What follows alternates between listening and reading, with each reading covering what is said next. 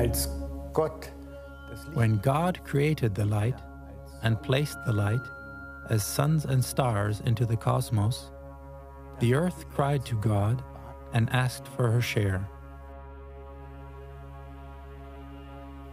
und Gott erhörte And God heard the cry of earth and sent all his angels. They cast their light into the earth, and it was turned into crystals and gems.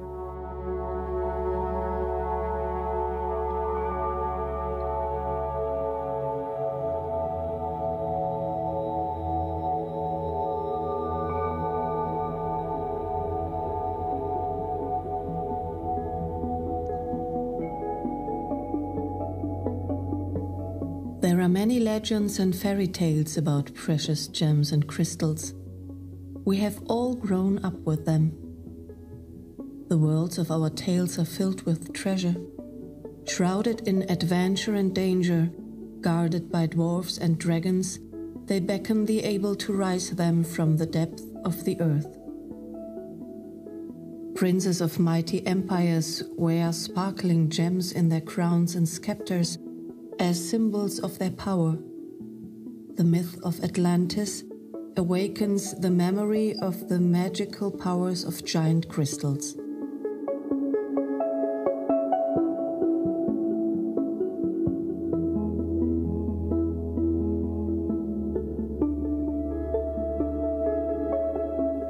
Yet the story that brought me onto the trail of these gems is new. It finished with a very strange sentence. We need to become crystalline from within. Even though intuitively and poetically I understood this sentence, it kept going through my head. Something was different about this sentence. It was not because of history or myth, but because it pointed towards a mission for humanity's future. And so, I decided to explore the relationship between humans and crystals.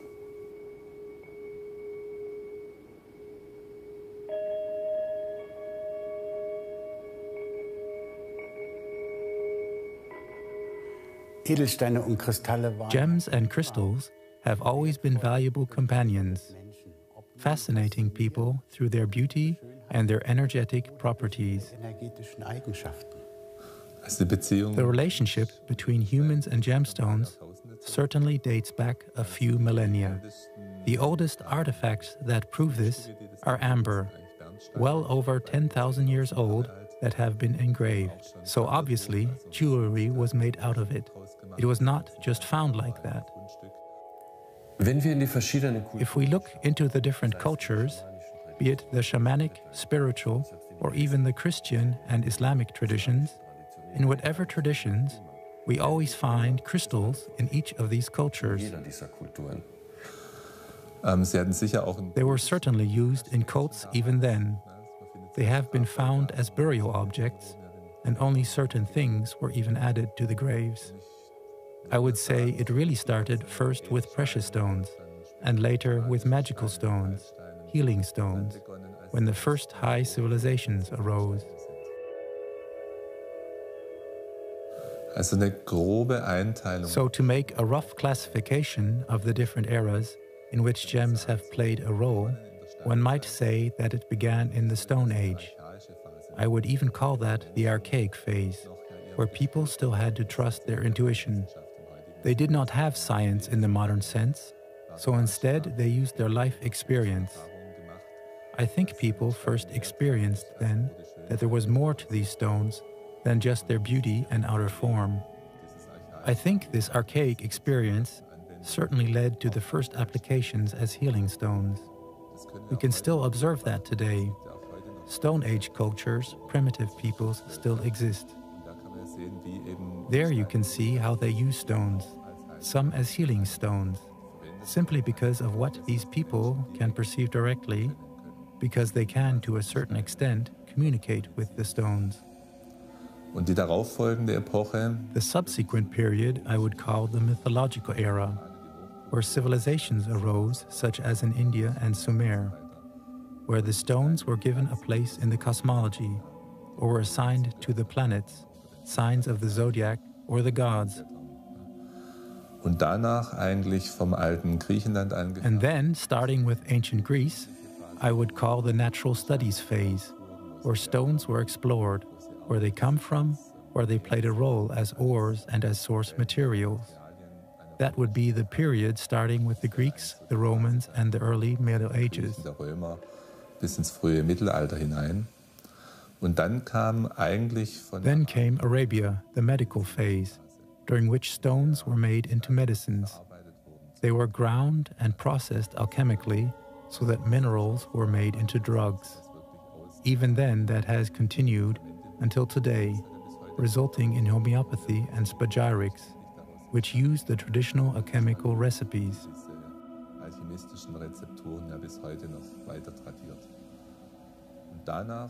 Then came the scientific phase, with the emergence of mineralogy and geology in the last 300 years. The medicinal uses fell into the background because you could not explain how stones work in that way. And then in the 20th century, the esoteric phase came, when the circles of anthroposophy, the medicine of Hildegard of Bingen, and modern esotericism sparked an interest in the healing properties of stones again. Today, we have a synthesis of all these different phases. They have not replaced each other, but each subsequent one has added to the others. The archaic has remained just as the mythological, the natural studies, the scientific, and now also the esoteric. Today, we have the opportunity to draw from all of these sources and see what can be applied and what works in practice. in der Praxis dann auch bewährt.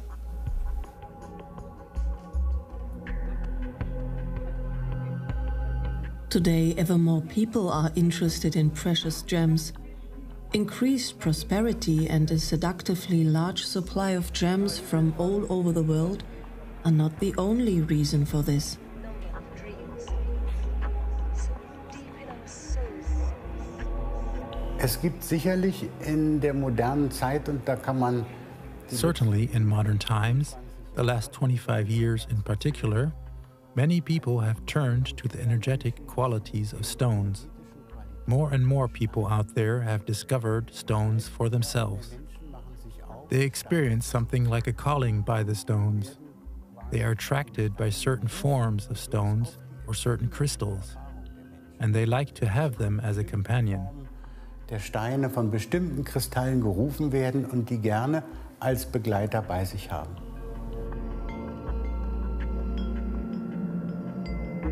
Ich denke, durch gerade die I think the industrialization and the technologization of the last century increased our rational and scientific thinking. This cut the mystical, the intimate connection to stones. But over the last 30 or 40 years, we find, especially in Europe, but also worldwide, a remembering, a searching, as if the soul of the world is remembering that there is an important store of knowledge and healing that went missing, that needs to be recovered. Influences are coming from all directions. ging, denn es gilt wieder zu bergen und es kommen Einflüsse aus allen Richtungen zum Tragen. Es ist ja so, dass viele Menschen mehr und mehr Many people would like to take responsibility for themselves in terms of their own development and their health. People are looking for ways to naturally strengthen their inner balance and restore it. nach Möglichkeiten suchen, auf ganz natürlichem Wege innere Balance zu stärken und wiederherzustellen. Viele Menschen fühlen sich einfach auch durch die Art der Many people also find modern medicine too overwhelming and not supportive. People are looking for opportunities for other ways. One of the ways they find is using the forces of rock crystals and gems. begegnet, ist die Anwendungsform der Kräfte von Bergkristallen, der Kräfte von Edelsteinen im Allgemeinen. Dazu denke ich, kommt die Sehnsucht There is a longing for the soul in nature. Our model of science has told us that it is an illusion what shamans, Indians, primitive people, and our ancestors believed and lived, namely that each tree has a soul, every lake, every rock. The anonymity that has been instilled in us has made our life become cold and hard. We have no relationship to other beings because we no longer believe that they exist.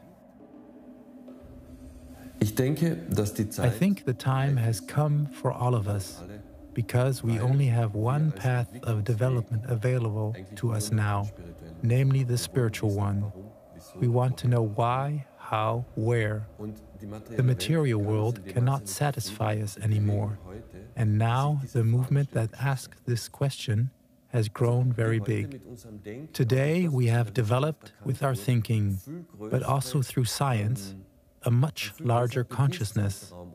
We also need this to comprehend the spiritual concepts at all. um die spirituellen Konzepte überhaupt fassen zu können. Natürlich gab es in jeder Kultur Of course, there were teachings in every culture that had answers for small groups of specialized intelligent people. Ähm, Today it is about aber heute geht the whole world wants answers.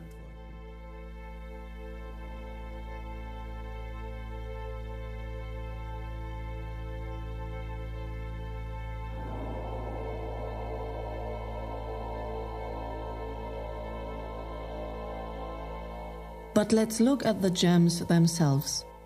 Under intense pressure, deep down into the earth, in a process lasting millions of years, elements are transformed into objects of pure beauty, pure form, and pure light, like ambassadors of eternity.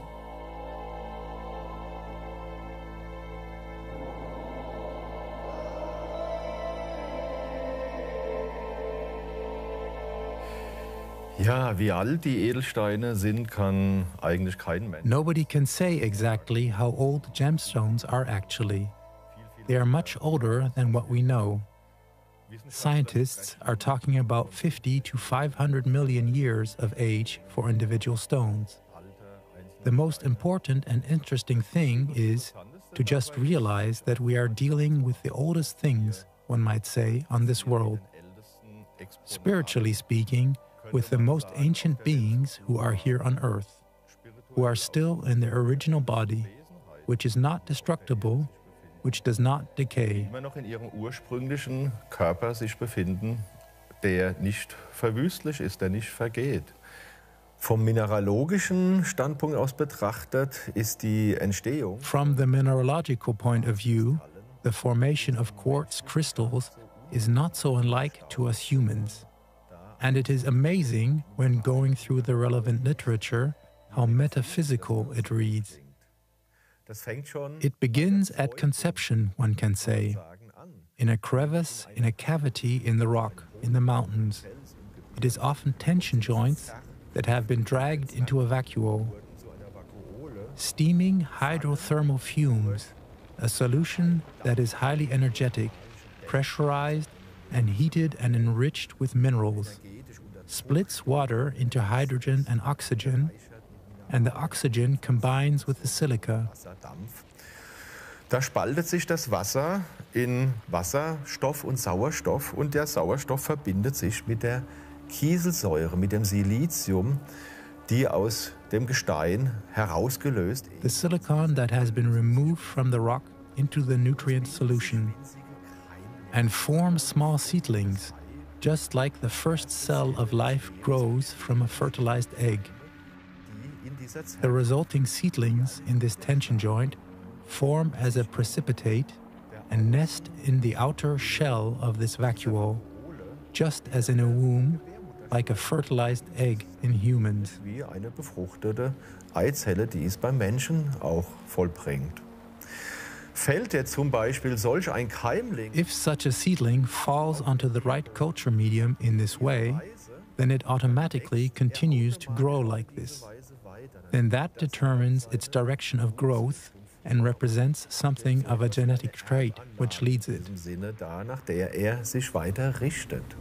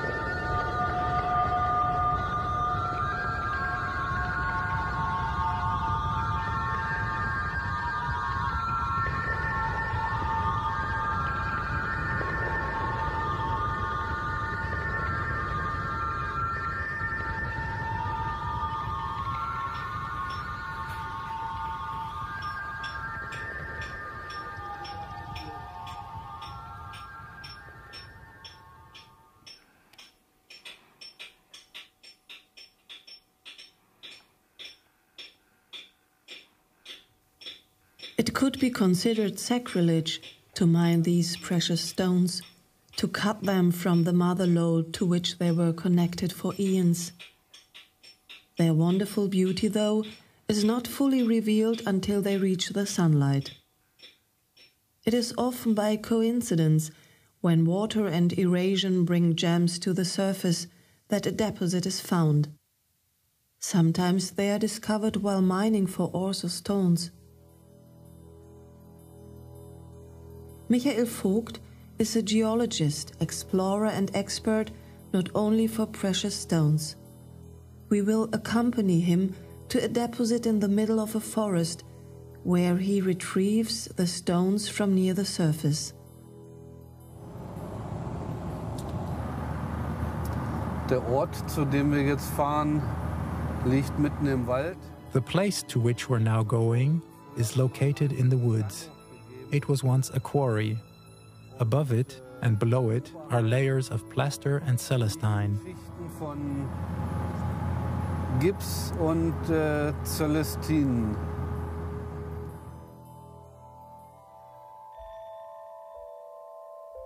Edelsteine können auf unterschiedlichste Art und Weise an die Erdoberfläche gelangen. Gems can get to the surface in various ways. Dann zum Beispiel On one hand, by weathering and erosion, then also by landslides when a mountain breaks away. Äh, Verwitterung hat man natürlich auch häufig dann die Edelsteine in der Regel ja sehr, sehr Weathering also often reveals the gems on the surface that are very, very hard and have separated from the host rock, which has eroded away. This means that you can collect the gems and identify a deposit in this way. die Art und Weise die Lagerstätte identifizieren. Furthermore, gems accumulate mainly in rivers. sammeln sich natürlich die Edelsteine in Flüssen hauptsächlich. Die Entstehung der Edelsteine findet statt. The creation of the gems is continuously occurring, all the time, during the various geological activities in the Earth's crust. You have to examine closely how is the gem formed, and then you look at the surrounding rock. And then you can, of course, draw conclusions on the age. You could be off by one year or a hundred thousand years, though.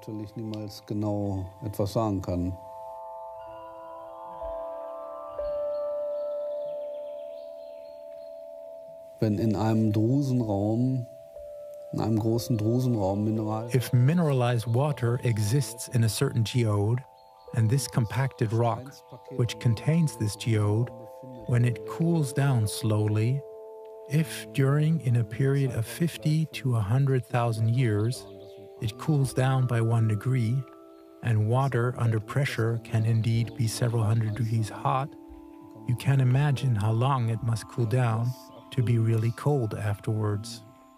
The crystals grow within a certain range, so you can already guess that the growth could have taken hundreds of thousands to millions of years.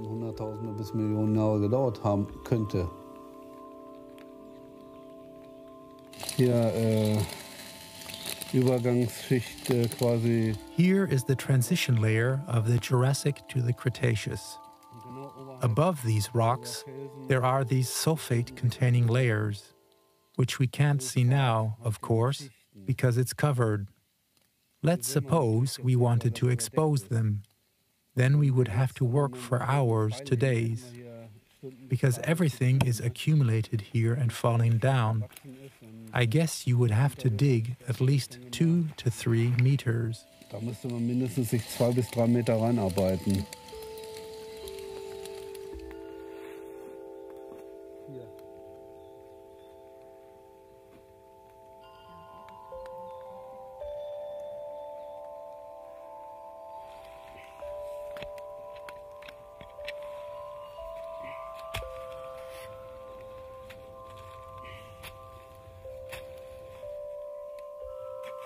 Mystical aura of the autumn forest and the strange, unreal sound of hammers and picks through the fog remind me of a treasure hunt as in a fairy tale from childhood.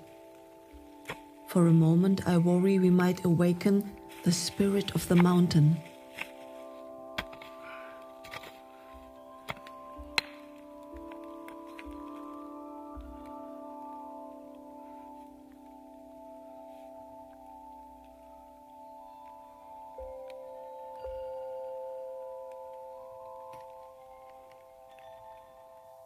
Even in its raw, unpolished form, a crystal is full of beauty. Its full beauty is only released by human hand, though. The art of cutting and polishing gems requires mastery and love for this special material. A special sense for its potential is what turns a raw stone into a work of art.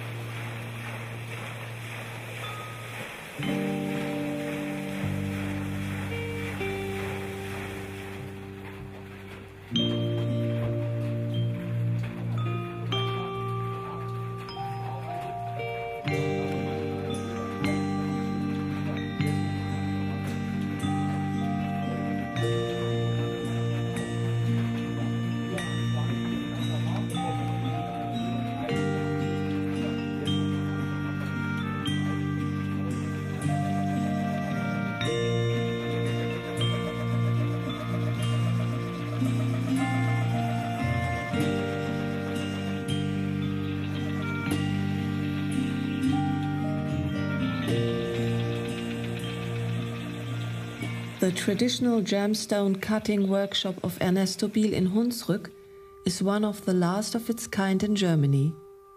Modern, brightly lit workshops do not have this charm anymore, even though the work there has become easier and cleaner.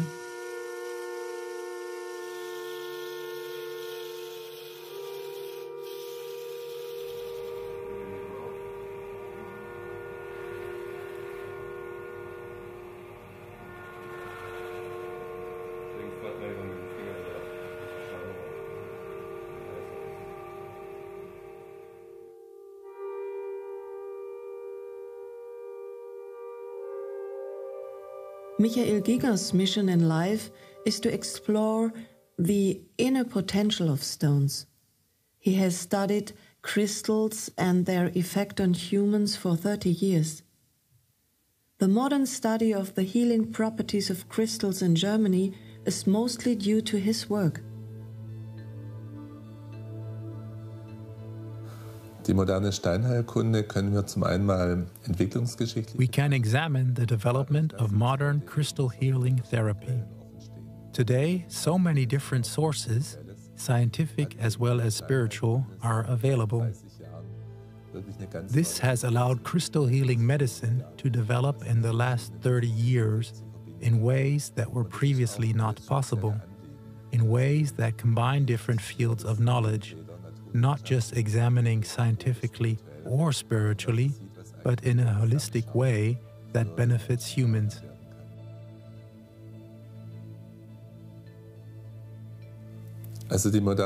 Modern crystal healing has taken very different paths worldwide. The starting point clearly was the United States. Crystal healing was only revived because Indian knowledge was passed on to white people. It was authors like Katrina Raphael, Jane Ann Dow, and Daya Sarai Chocron who all learned from the shamans and have then translated it into our Western perspective. So there is a branch that is based on tradition that has been passed down for centuries. Channeled knowledge was added to this pretty quickly, both in the US and to some extent in Europe but the focus here was the United States. This came, for example, from Gurudas, who has written about gem elixirs and where knowledge was drawn directly from spiritual sources. I personally do not do it, so I cannot say much about that. But interestingly enough, in the case of Gurudas, it was applicable, so that he has brought new things that have turned out to be true. Here in Europe, you would actually have to say, in German speaking countries, we have gone a different way because we had homeopathy as our model. The different fields have fertilized each other. You naturally look at what others are doing, what knowledge others have gained. Ultimately, what works well and can be repeated determines what is used, whether it comes from traditional sources, from channeling, or if it comes from our more analytical work. I am also very pleased to say that no boundaries were created, but that there was communication, mutual fertilization, and respect for each other's method for the sake of results. You could say quite simply, who heals is right.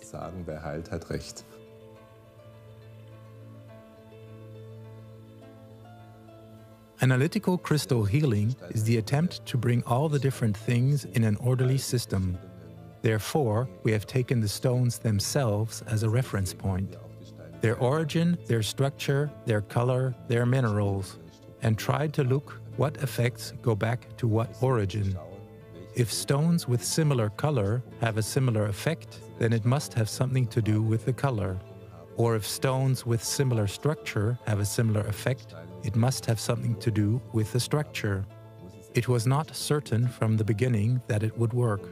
It was an attempt to organize things by their effect and to investigate, but it has been confirmed greatly in practice. Because analytical crystal healing has thus become a system that has more order than, for example, homeopathy or other systems. You don't have to memorize the therapeutic properties for individual stones and only need to understand the basics. And you could then deduce from the basics which effect the stone could have. I purposely say could because you can never predict with certainty. There are basically four major factors that have a role in the effect of stones. The color, of course, is the most obvious factor, and that colors have an effect is also well known. Also, every element, every mineral brings its own effect. Iron brings up completely different qualities in a stone than magnesium or calcium.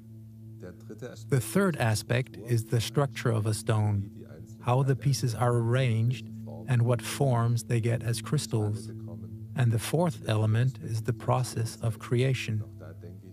I think it's understandable that a volcanically formed rock has a completely different power than a stone that was formed by weathering and deposition.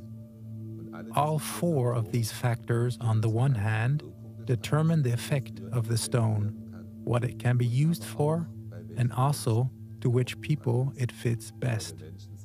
We humans are indeed individuals, and not everyone responds to a stone in exactly the same way.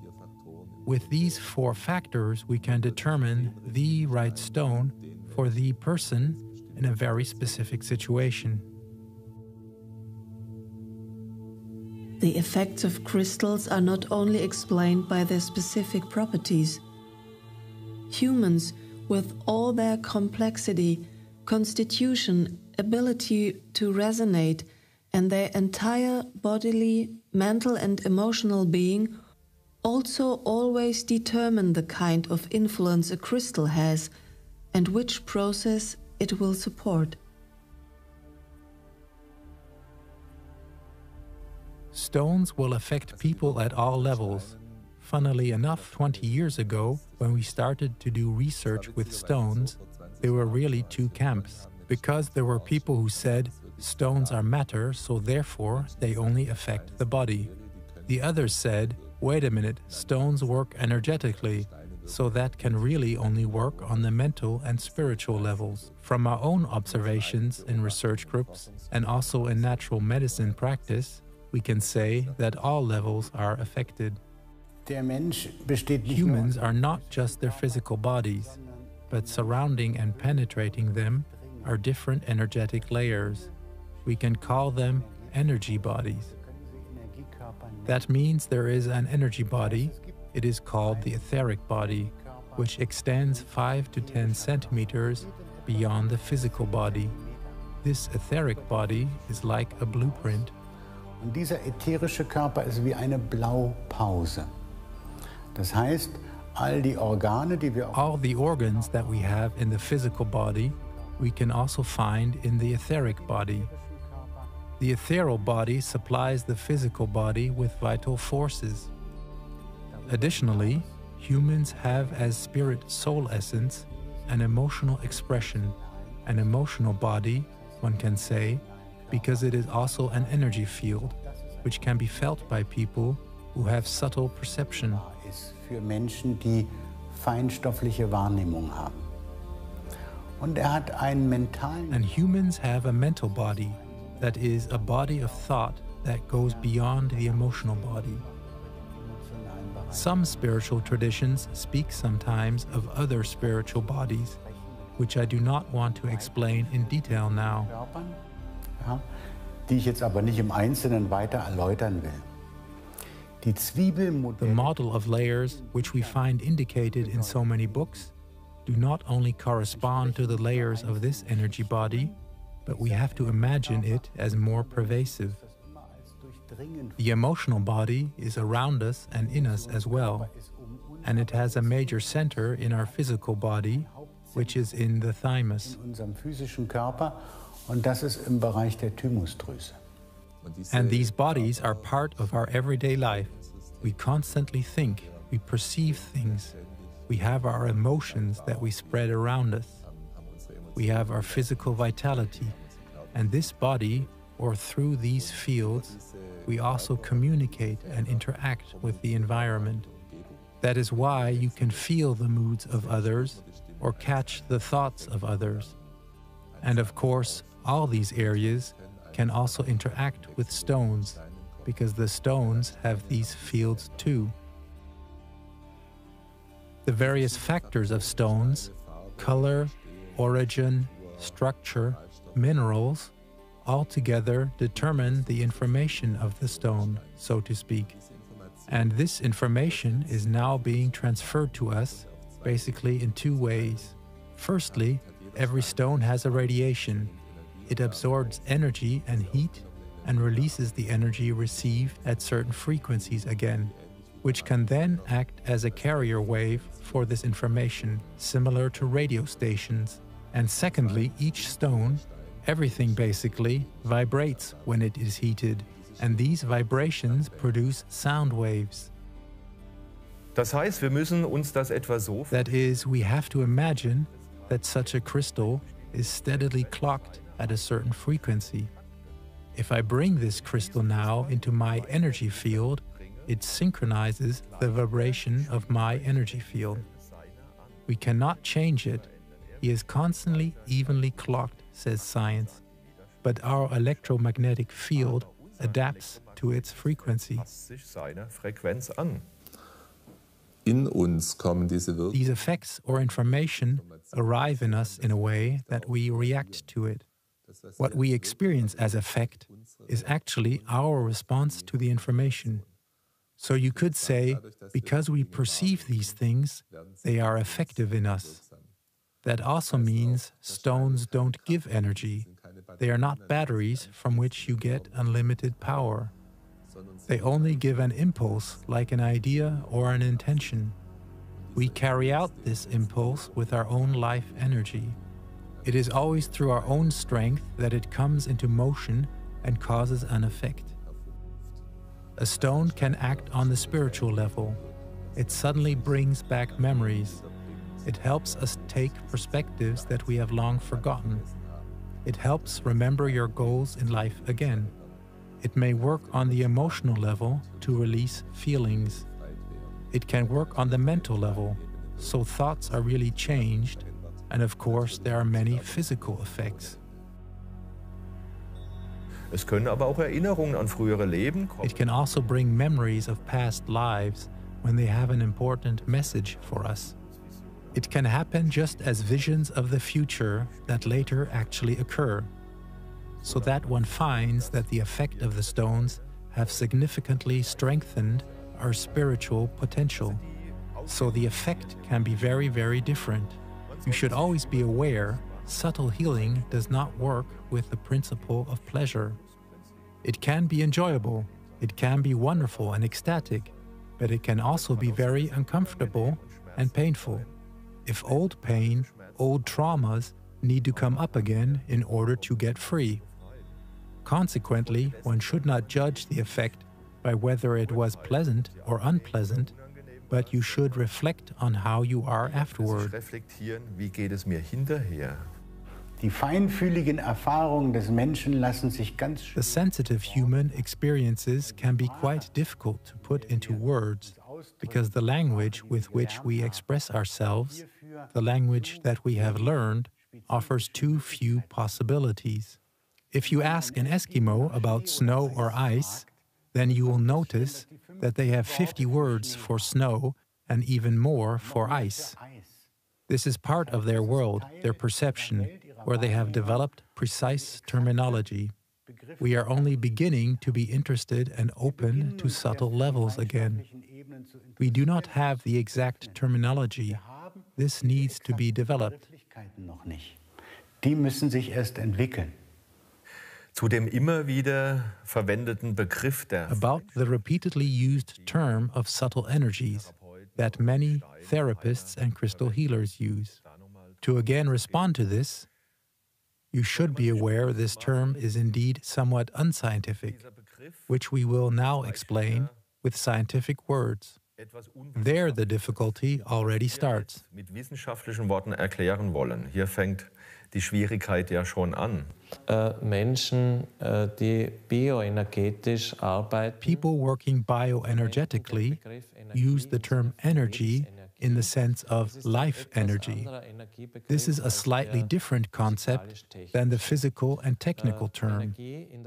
Energy in physics is always something that is measured quantitatively and basically shows how much work is being done or can be. The energy of life has something to do with this physical energy term. It is more about energy structures, or rather, the free flow of energy, or the other way around, about blockages in the flow of energy in a living system. So, this energy term is more about order, structure, flow, and movement. Ordnung, auf Struktur und auf Fluss, Bewegung äh, ausgerichteter Energiebegriff.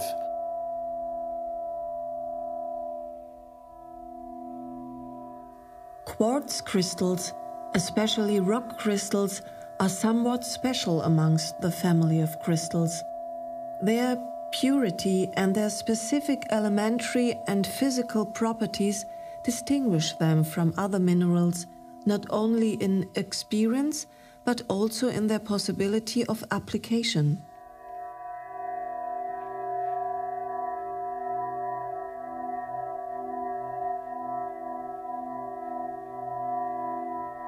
The word crystal is often misunderstood and misrepresented. It is used mostly for rock crystal.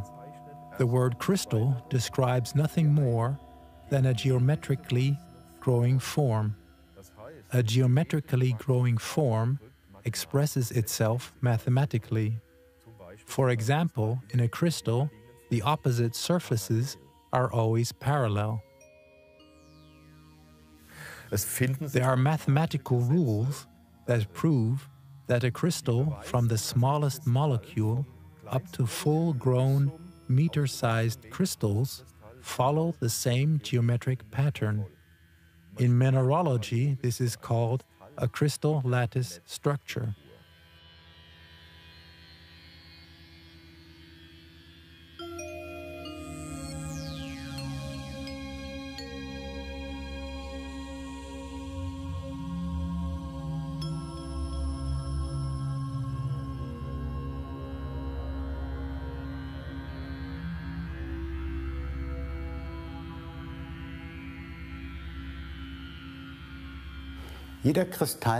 Each crystal has a growth axis, which is the so called C axis.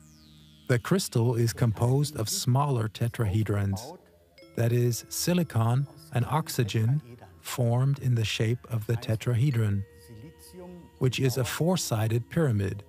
formen sich in diese Form. Das ist ein Tetraeder, eine vierseitige Pyramide. Und diese Tetraeder setzen And millions of these tetrahedrons form a spiral shape and go in tunnels through the crystal to the tip of the crystal. The energy flows along these tunnels in rock crystal. Entlang dieser Tunnel fließt im Bergkristall die Energie.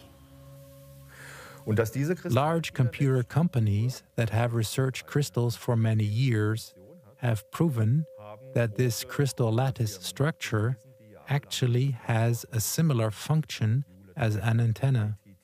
Hewlett Packard, ITT, Schaub Lorenz, all the big computer companies did years of crystal research, where they found, for example, that crystals have an electrical and optical axis, which is often or usually in the direction of their growth form, that is, in the direction of its tip. A grown crystal has an antenna function, and thus a capability of transmitting and receiving energy pulses. That a fragment of a mineral, or a tumble polished stone, or a non crystalline formed mineral does not have. Mineral eben nicht aufweist. Das heißt, die innere Struktur des Bergkristalls, der ist ja Concerning the internal structure of the rock crystal, that is, for example, piezoelectric, which means pressure creates a primary electric field around the crystal. The special property of the rock crystal is the internal arrangement, the molecular structure. This structure, the way the molecules are arranged in rock crystal, creates an optimal flow of information and energy. diesen optimalen Fluss an Energie und Informationsübertragung. Let us again return to the computers. As I said, no computer today could function anymore without quartz chips, no traffic lights, no cars, no aircraft. Our entire technology depends on the quartz technology. One should therefore actually talk about the crystal age in which we live, in the way as in the iron age, when everything was dependent upon iron. Wir leben ja im sogenannten Informationszeitalter. We live in what we call the information age, and that includes that we are aware on several levels of the dynamics of information, what it does in people.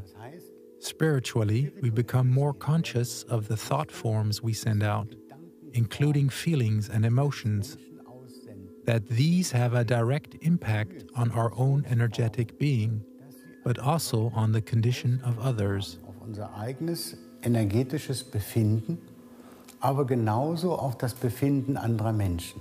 Nun, die Quarzchips machen vereinfacht Well, to put it simply, the quartz chips do nothing other than bundle information and enhance the clocking and transmission of it.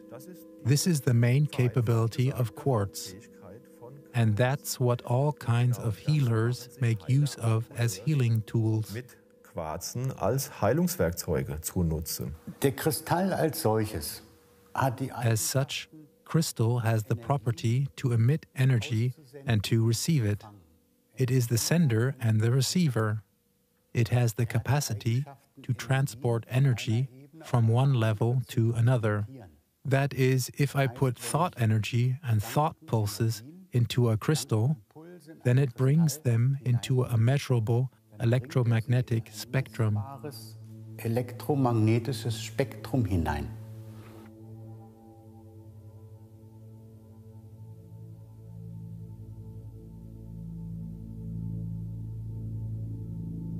The practical work with such sensitive tools requires a lot of knowledge, attention, and respect. Lukas Kohlweg is an energy worker. His purpose is to harmonize the energy body of humans. His futuristic instruments and installations combine specifically made rock crystals arranged in special patterns into complex systems.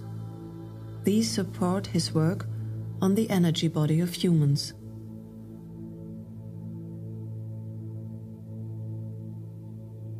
Ich verwende Kristalle hauptsächlich äh, in Energie. I use crystals mainly in energy healing devices, in crystal healing devices that are designed for different functions.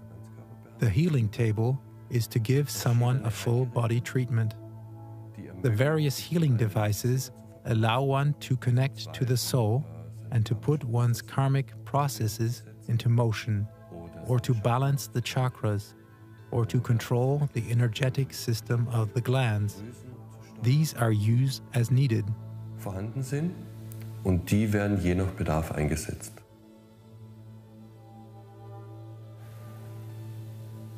Wir haben es schon erläutert, dass We have already explained that crystals, due to their structure, attract and release energy.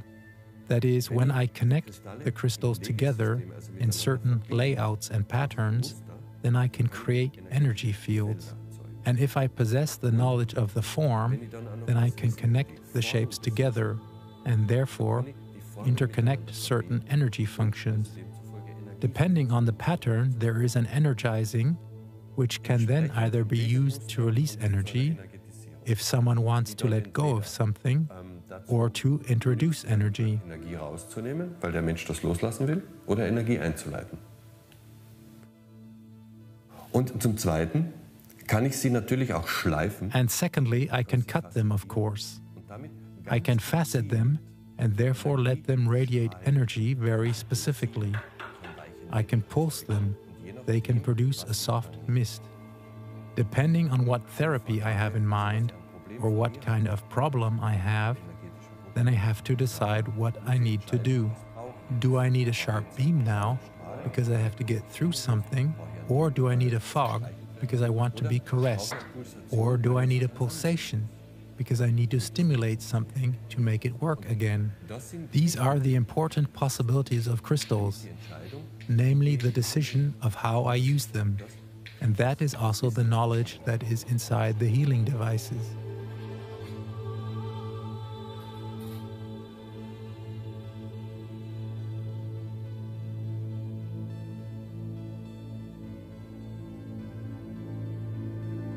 Das Prinzip des energetischen Heilens beruht darauf, The principle of energy healing is based on the fact that we can change the energies in the body.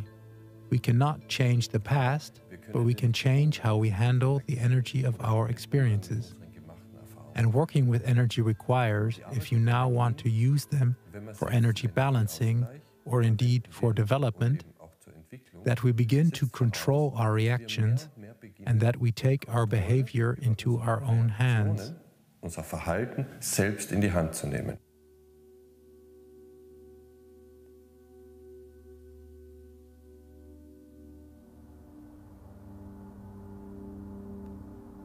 Donald Freeman Yaskola is an international trainer for working with Vogelcut crystals. These crystals distinguish themselves through the exclusive purity and very precise cut.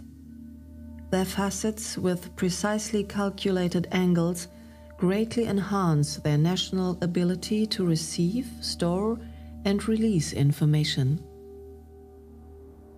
Das Wissen, was zu mir gekommen The knowledge, what has come through to me about rock crystal, is based mostly on the findings of an American scientist and mystic, and his name was Marcel Vogel. Marcel Vogel was someone who worked for 27 years at IBM, who did a lot of liquid crystal research, and who was spiritually inclined and mystical. He brought together spiritual and scientific knowledge in a unique way and explained the properties of rock crystal in detail. und hat die Eigenschaften des Bergkristalls detailliert erklärt. Der Marcel Vogel hat eine besondere Art der Kristalle. Marcel Vogel developed a special type of crystals. I want to show such a crystal that has been cut into this form, unlike a conventional uncut crystal. The properties of the rock crystal are optimized in a so called Vogel cut crystal. des Bergkristalls sind in einem sogenannten Vogelcut-Kristall optimiert. Der Bergkristall als Sender und Empfänger The rock crystal, as transmitter and receiver, the way it comes out of the earth, is like a radio signal, which has not been adjusted properly. There is a great addition of noise, and the actual information signal cannot be accurately transferred. To offset this disadvantage, he has developed the so called Vogel cut crystals. They are cut in such a way that they make the transfer of a precise signal possible. They are made so that they send out a coherent signal, that is, an equally oscillating electrical impulse, and that makes them unique in their use for healing work. Und das macht sie in ihren Möglichkeiten der Heilarbeit einzigartig. Dieser Bergkristall ist in einer acht This rock crystal has been cut into an eight sided form, and it has been discovered that the more sides, the more facets such a crystal has, the stronger the spin of energy and inner reflection, and the more stronger the output of energy is from such a crystal. die aus so einem Kristall kommen. Vogelcut-Kristalle unterscheiden sich von normalen Bergkristallen Vogel crystals are different from normal rhinestones or most polished crystals in that they are cut exactly and precisely in their angles. They are cut along the growth axis. And they must be, and that makes a Vogel cut crystal in exact resonance to the vibration of water. Water has a specific frequency as measured on a radionics device. The rock crystal is cut so that it comes into the same frequency. If both match exactly, it is called a Vogel cut crystal. There are only two grinders in the world who have the ability to do that. Many of the crystals which you can find on markets or at gemstone dealers that imitate this form have nothing to do with a Vogel cut crystal, you need to know. This is a very special, one might say, highly tuned tool for therapists or for people who do energy work. Oder für Menschen, die Energiearbeit machen. Der ursprüngliche Vogelcut-Kristall hatte vier Seiten. Inzwischen The original Vogel cut crystals had four sides. Now there are Vogel cut crystal variations with more facets 6, 8, 12, or odd numbers. The higher the number of facets, the greater the energy is reflected in the crystal itself and amplified. That does not mean that the more facets, the better the crystal. But each crystal has its own special preferred application. Anyway, it is a fallacy in male thinking to always think the stronger the better. Especially when working with subtle energies, one learns very quickly that a precise but also gentle pulse with the correct information vibration is much more effective than any strong, overwhelming energy. als irgendwelche starken, überwältigenden Energien. Die Erkenntnisse, die zum Beispiel Marcel Vogel über die Bergkristalle The findings that, for example, were formulated by Marcel Vogel on quartz crystals and their possible application in relation to the structuring of water or the like are all based on the findings and development that goes with the information age. One of the approaches to work with the crystal is to use its capacity similar to how we use computers, though perhaps with a little more dedication. And that's the interesting thing about the crystal, that it calls and asks us also to very respectfully deal with all levels of creation. sehr respektvoll mit allen Ebenen der Schöpfung umzugehen. If gems and crystals have such an effect on the human energy body, namely that their vibrational quality and the energy of intention can be transferred as information to a living being, then the question arises if this effect can be proven or even measured.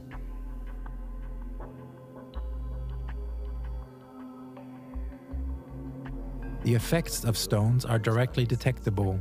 There are, for example, biofeedback devices that show immediately how, through the effects of a stone, changes in the body appear. Dieses Biofeedback-Gerät funktioniert This biofeedback device works with a skin resistance measurement. Due to the specific skin resistance measurement, values are obtained which are stored in the computer. The device displays the energy or aura image of the most important organs that are also found in the reflex zones of the hand, visible on this graphic. All of this is much inspired by traditional Chinese medicine. Und das Ganze lehnt sich stark an traditionelle chinesische Medizin. Also eine Messung äh, läuft folgendermaßen ab. A measurement procedure is as follows. The subject places his hand on a board with 40 pins. At first, the current state of the person is measured. Then we analyze the measurement. Dann analysiert man die Messung. Der zweite Schritt wäre, dass man aufgrund der The second step would be to select a particular stone based on the analysis and place it in this person's hand. The moment when the stone touches the skin, the picture changes. das Bild. Der Ist-Zustand hat sich The person's state has changed considerably, as can be seen here. There is a lot more energy in the body now, here at the bottom of the graphic the knee, the elbow, and so forth. Previously, it was relatively low. Schon relativ reduziert. Das ist sozusagen der Beweis, dass This is the evidence that, due to the characteristics of the stone, the condition of individual organs, or possibly the mood of the whole person, the whole body changes. der ganzen Person, des ganzen Körpers ändert. A very important statement of traditional Chinese medicine is that every disease has a spiritual cause. This has been confirmed in a very, very large number of measurements. If, for example, the energy or aura picture changes and only turquoise, green, and blue colors are shown, then you can assume that everything has changed for the better. Alles zum Positiven verändert hat. Die Kunst dann den The art to find the right stone has remained an art. This is not only possible with methods, and instruments can only be a tool. Ultimately, this requires more know how and consciousness of the user. An extensive experimental setup is needed to measure the field changes that occur by installing crystal energy devices. The biophysicist Dr. Walter Medinger has been researching the effect of electromagnetic fields on humans for many years. The instruments he has built specifically for this purpose are able to measure very fine electromagnetic fields. We have fetched the technician to find out what effects magnetic frequencies have on the human system. That was the reason why we brought the technician to see if it's measurable. Whether that which is perceptible to humans can also be measured. And also to read from the data collected what crystals do and how and in which direction we can investigate further.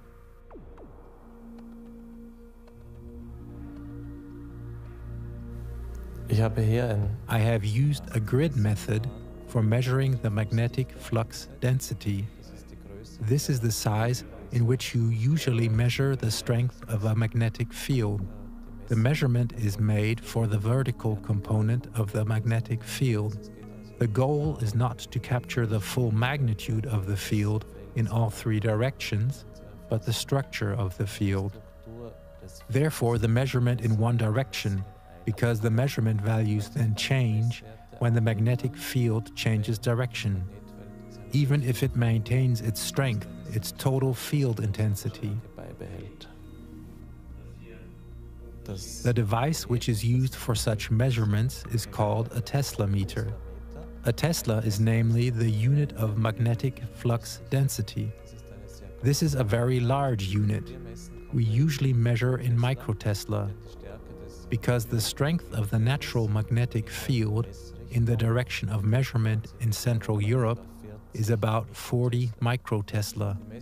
The value fluctuations and the natural variations of the geomagnetic field are in the range of tenths of microtesla.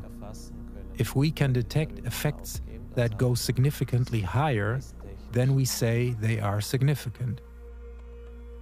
Können wir Effekte If we can see significant effects, then we can show changes in the structure of the magnetic field on the basis of these fine readings. The total energy of the magnetic field remains approximately the same, but it is distributed differently. That's what our measurements should show in this case, and what would be enough to prove a healing effect in the sense of life energy. zu belegen.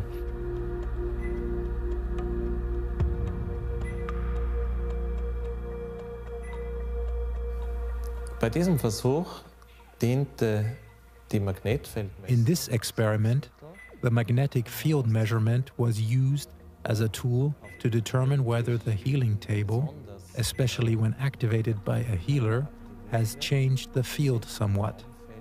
The magnetic field is indeed primarily a field of order, so with this field, we have the best chances of getting physical, objective evidence of such changes. objektiven Nachweis solcher Veränderungen im Raumfeld zu bekommen. Äh, wenn man eine, eine If you approach such a goal in a technical way, you must first determine the background. That is, which magnetic field conditions are present in the room itself. sich vorhanden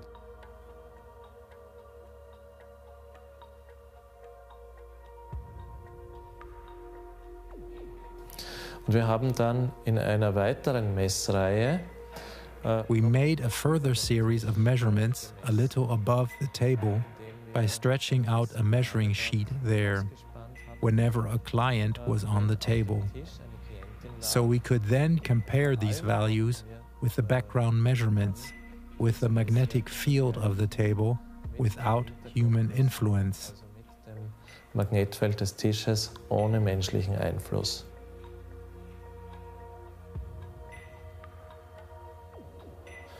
Die Ergebnisse The results provide a kind of map or terrain display, as seen here on the screen, with a three dimensional representation. Here, the heights were combined to the measured values. Here, the measured values were arranged by height. in this case, we see the measurement, which was made on the ground. You can see that the field is quite restless. There are relatively severely fluctuating values. The next display shows the field as we measured it on the measuring table.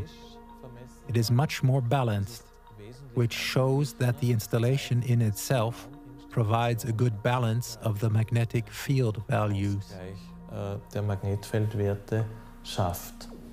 Äh, diese Situation wurde ebenso auf dem äh, Tisch This situation has also been measured on the table in the presence of the energy worker who has activated a certain energy program. We see that the field is still pretty balanced, but there are small differences to the previous image. To make it clearer, I use the difference of the measured values between the two previously described situations. zwischen den beiden äh, vorher erläuterten Situationen aus. Die Differenz ergibt dann den Effekt, den The difference is the effect that Lucas caused by activation of the energy programs. We see in this chart a structured effect.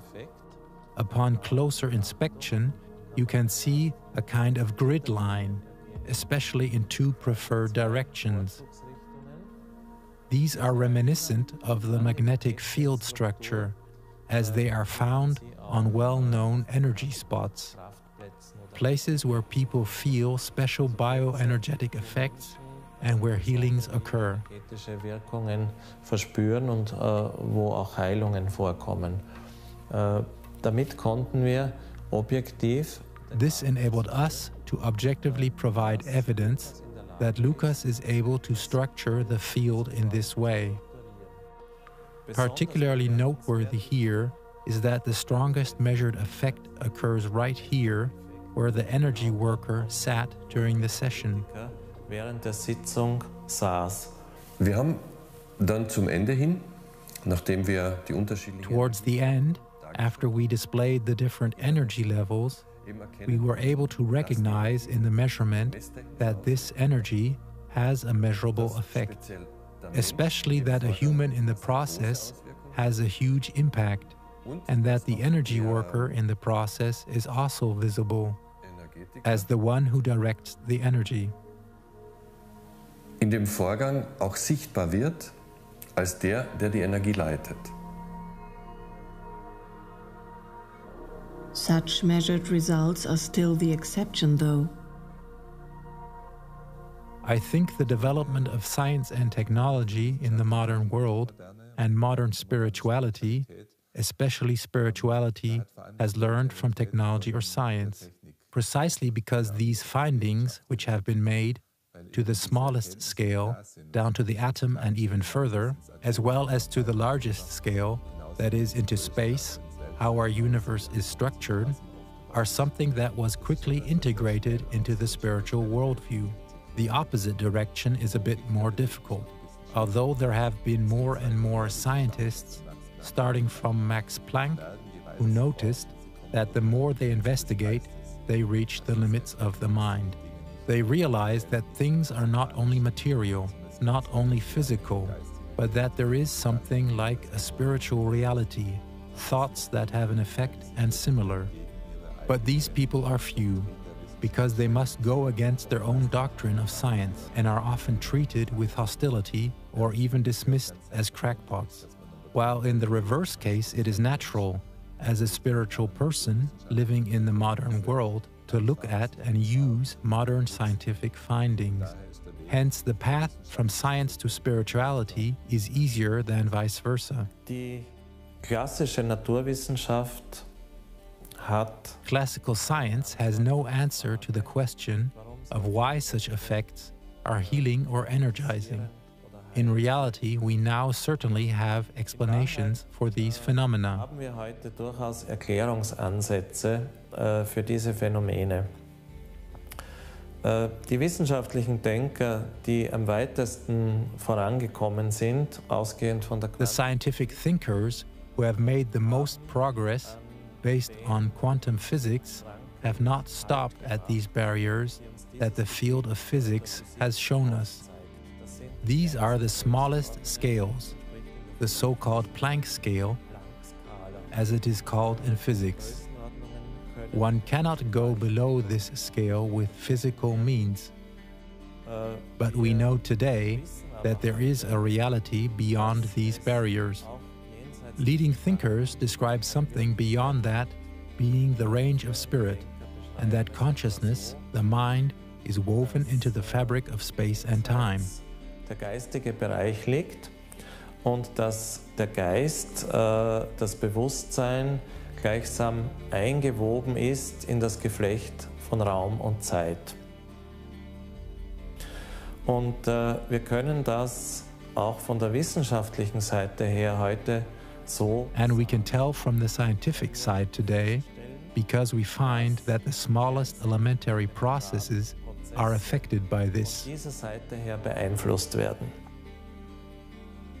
Nun wird oft eingewandt, dass Einflüsse Uh, now it is often argued that influences at this elementary level would be so weak that, for example, the thermal motion of molecules, which always have a degree of uncertainty, would wipe it all out or compensate it.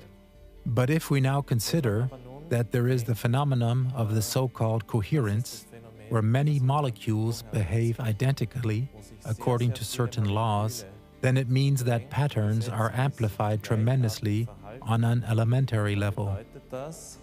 dass Weichenstellungen auf elementarer Ebene ungemein verstärkt werden können. Wir wissen zum We know, for example, today that in water, approximately 13 million individual water molecules joined together into coherent structures that vibrate in a strictly coordinated way. Then water molecules do not act individually anymore, but collectively, and that means a huge amplification. And this is an effect that occurs constantly in our body fluids. Water is indeed the main constituent material of our body. When a certain field structuring influence through such coherence is reinforced in our body, it's only a small step to imagine that even incredible effects in the body are possible. And in the cells, water is 100% coherent. That is also the reason why biochemical reactions in a healthy cell are ordered and so wonderfully run. Wenn wir Kohärenz If we understand coherence as a particularly high degree of order, then the question arises how can you create order or how you can support the body in the reestablishment of order if something is out of order? wenn etwas in Unordnung geraten ist. Und eine wunderbare Vorlage dieser Art, die uns And a wonderful example of this kind that nature offers us are crystals. We also know that water is purified during its natural path through the ground, through its contact with minerals, crystals, and becomes structured thereby also. Es wird dabei auch strukturiert. Der Bergkristall Rock crystal has a lot of similarities with the element of water. Water, when it freezes, takes on the same hexagonal shape that we know as a snowflake. Wir kennen das in der Schneeflocke. Stones are now often placed in water, and then this water is ingested as gemstone water. Apart from the subjective effect, it can be demonstrated here that a change has taken place in the water through the information. Methods such as the water crystals by Emoto or the drop image method by Ruth Kubler show that water actually changes qualitatively without any substances brought into the water, but only by the information which the water has absorbed.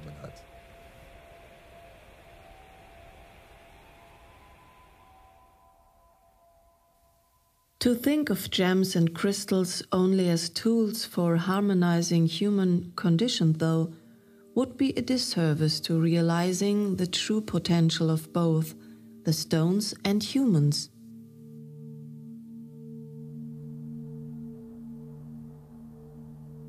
Even beyond their healing power, crystals are absolutely justified or can be of help. Basically, we can say that if we are doing fine, if we feel normal, then there still is much to learn.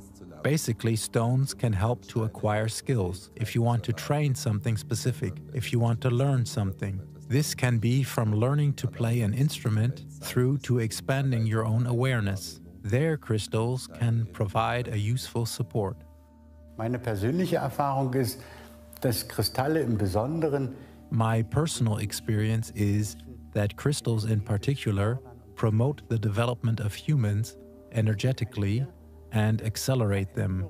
It goes along with the change of consciousness, with the change in the awareness that more and more people are opening up to the subtle levels of perception. And since the crystals are highly experienceable at these levels, people are opening up to crystals and their properties. öffnen sich die Menschen auch für die Kristalle und deren Eigenschaften. Consequently, we can use healing crystals not only for physical healing purposes, but they should primarily be used for emotional stability and, above all, to support spiritual development. There are wonderful healing crystals that act as spiritual catalyzers, with whom we can go through processes very quickly, for which you previously had to do years of therapy. That, to me, is really the main advantage in using crystals. That we have in our spiritual work great helpers and tools that facilitate and accelerate the work. Mir erschien es immer so, dass die Kristalle uns, und das lässt sich schwer beweisen, sondern nur To me, it always appeared that crystals, and that is difficult to prove, but can only be observed, encourage us in the development of our subtle awareness possibilities. in die Lage versetzt, That through the crystals, our consciousness is enabled to perceive beyond the normal spectrum of awareness. das heißt, Kristalle Crystals are helpers on our path. They are not, I would say, something that magically gives us consciousness, but they encourage us to develop our own ways. Schenkt, sondern sie regen uns an, unsere eigenen Möglichkeiten zu entfalten. Das heißt, von unserer geistigen Entwicklung From the viewpoint of spiritual development, the crystals, the healing stones, are for me personally the strongest tool to grow a divine consciousness, to mature, to what all religions speak of as the goal, namely unity consciousness.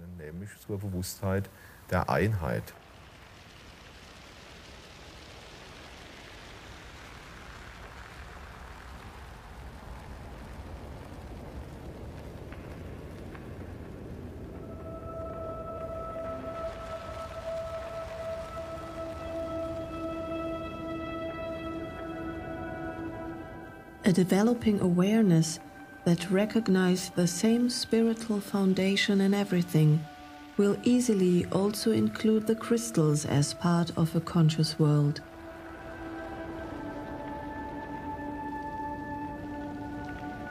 Also ich betrachte Steine durchaus als Lebens. So I do view stones as life forms.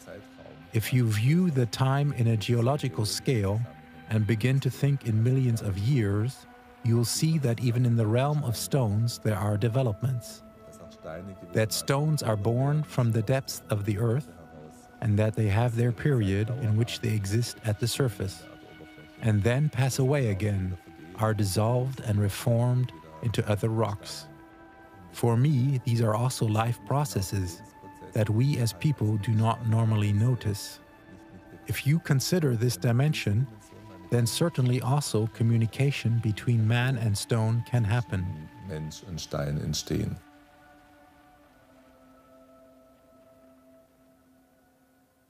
Entering into a stone circle of Earthkeeper crystals, we can recognize their effect on their immediate surroundings as carriers of a specific consciousness.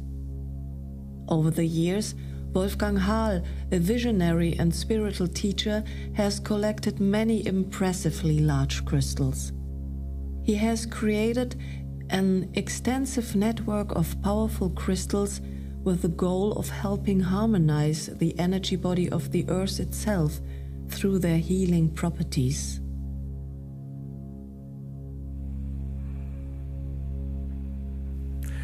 Der Name Erdenhüterkristalle leitet sich von alten indianischen The name Earthkeeper crystals derived from ancient Indian prophecy.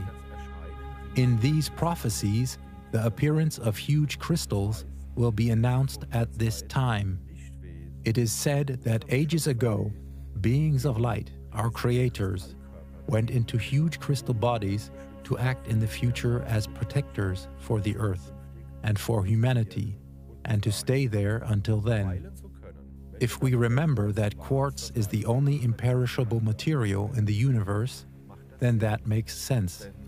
Because rock crystals can, as we have heard, lie millions of years in the earth without decaying. And so, say Indian legends, would end this period when humans increasingly destroy the earth and devastate nature. These beings of light would become active when their bodies are found in the earth, taken out, and are able to spread their healing properties. diese Lichtwesen ihre heilende Wirkung verbreiten können.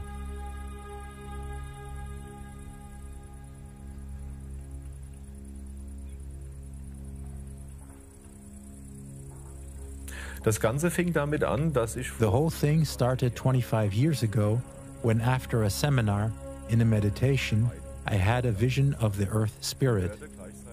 I heard in my mind at the same time a voice instructing me exactly and explaining that the future would be about me gathering so called earth keeper crystals from around the world. and to use them for earth healing. That it was necessary to save these giant crystals and protect them, and that these giant crystals were urgently needed for the stabilization of the energy field of the earth, but also to raise the human consciousness, and that it was my job to start this process. This seemed, of course, to me to be just as crazy as it sounds to anybody hearing this first. As a result, I ignored the whole thing for a while until actually several worldwide active merchants spontaneously invited me to visit them in Brazil. After the third invitation, I thought, this cannot be a coincidence anymore, and accepted the invitation. And in fact, on the same day, when I arrived in Brazil, for the first time after a long time, huge golden yellow citrine crystals had been found. Now, there are many interesting events to tell about them. But in summary, let me say that this was the first Earthkeeper crystal that came into my life, and that it took several days of negotiations in order to save this crystal from cutting and grinding. In the following years, hundreds of giant crystals were brought to me in mysterious ways and under the strangest circumstances, even in periods when I considered this more of a curse than a blessing, when I had to spend my time again and sacrificing all my money in order to save these large crystals from being cut.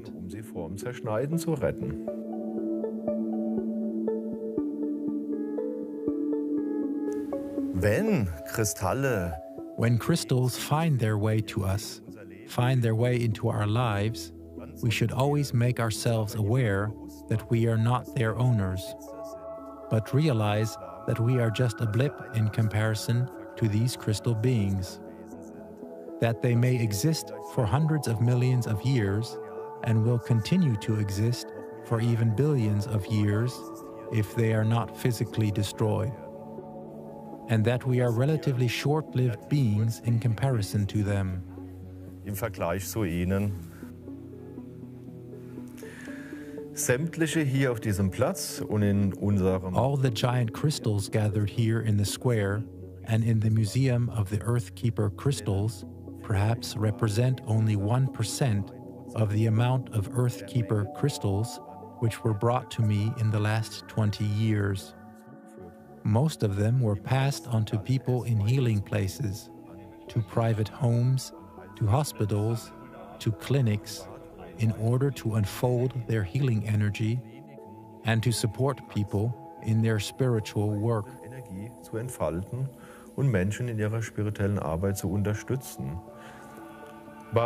What this whole thing has to do with earth healing becomes understandable when we realize that the ultimate earth healing is only possible with a global shift in consciousness.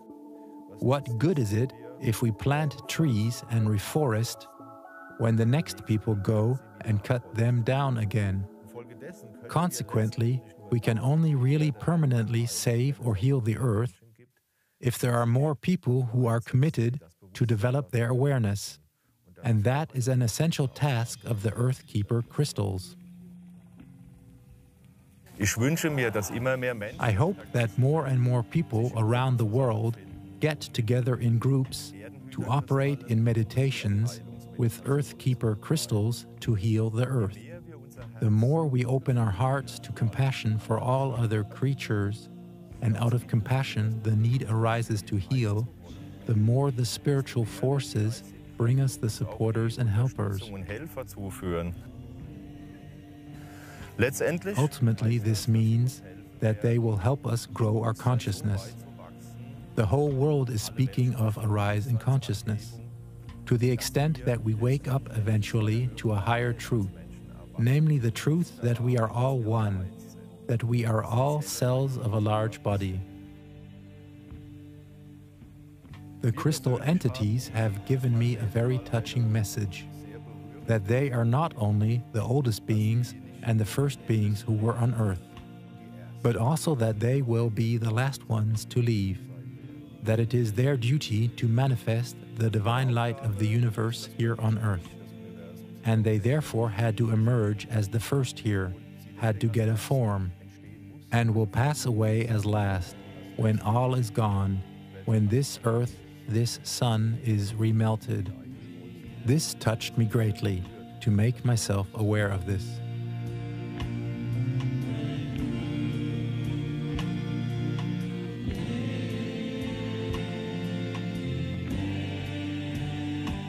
I have searched for the deeper relationship between humans and crystals, and I have found a treasure that cannot be measured in carats. It is the relationship that humans and stones can ennoble each other. To become crystalline from within does not mean solidifying, not petrification, but establishing a coherence both in our bodies and consciousness.